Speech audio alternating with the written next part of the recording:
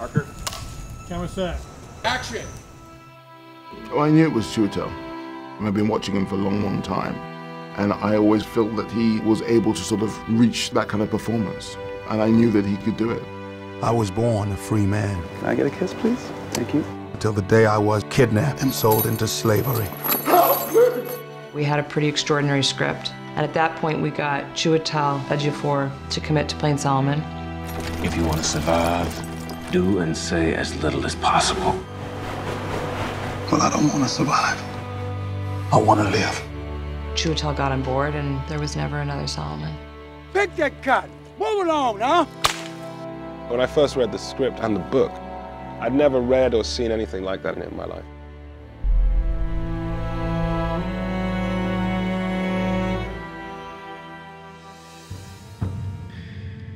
Book as a template is so useful as a way of trying to understand this character and this time. Master brought you here to work. I don't want to hear a word out of none of you. But once you read Solomon's autobiography, it puts you in a certain mindset where you start to get a little glimpse into what he's going through and what he is seeing. I originate from Canada. I guess where that is. Well, I know where Canada is. I've been there myself. Well traveled for a slave. Once I started to see that, to really feel what that emotional journey would mean for someone, it's impossible to kind of lose it. It's something that has really penetrated me. Went down to the river Jordan. Going to the plantations in the south and being in places where some of these things occurred. That burning heat, the violence that he sees occur. You do get a glimpse of what the day to day must have been like. It's quite a thing. Chiwetel conjures up the most profound empathy, not just because of the situation, there's something about him and what he transmits as an actor that's just very, very earnest, very vulnerable, very sharp, and you really care for him. Working with Chiwetel, who's very experienced and great actor, been a fan of his work for a long time, so bright and so just ready. It's kind of incredible. The confidence and poise and prep is really impressive. He allowed the rest of us to have that same kind of work ethic. Let's go about this with an efficiency and a sense of duty. My back is thick with scars for protesting our freedom. Watching Chiwetel was, to me, a masterclass in subtlety and in nuance because he did have this 12 years of this story to tell and starting in one place, and I was able to see all of it just alive in him. You can't imagine how difficult it was to do what he had to do. He's in every scene.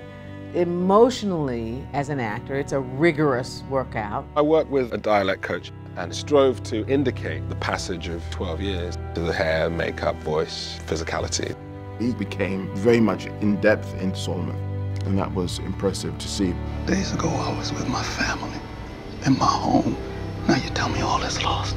It takes a lot of courage and strength to keep within that character for that period of time.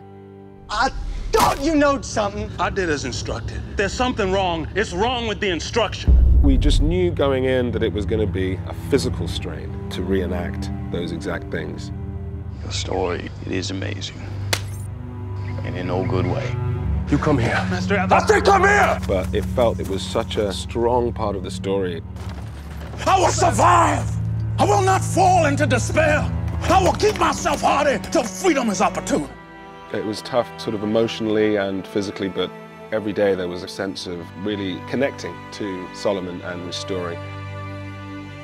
And reenacting something that he went through and trying to reenact it in the detail that he describes it was something that really was very important to me. It would be an unspeakable happiness to see my wife and my family again.